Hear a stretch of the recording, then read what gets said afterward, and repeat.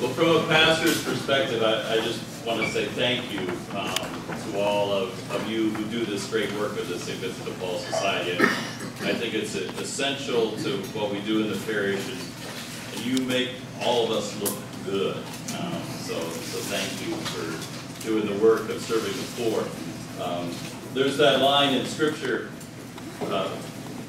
where Jesus says, "The poor you will have always with you," and and it's often used, I think, to to say, "Well, well why worry about it? Because you're always going to have poor people." Um, but for me, in my, in my, days, especially working at Guadalupe, I, I came to understand that differently. Um, that the poor are always going to be with you.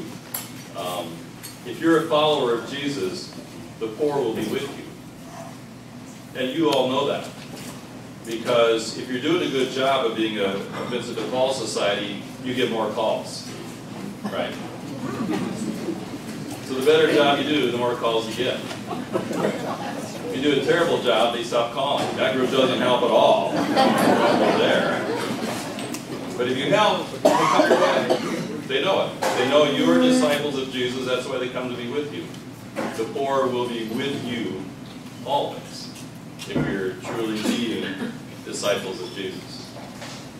But as I, I like to, to remind our folks here in the parish, um, we do it because it transforms us. Yes, there's a need out there. People are hungry. People are hurting. But in our living out our discipleship, we get transformed. And every time we meet the poor, we have a chance to encounter Jesus. And So our lives get changed in the process. So, so it's a blessing as well. Um, but thank you. Thank you for all, all the work you do. We have a great council here, and um, the always good them.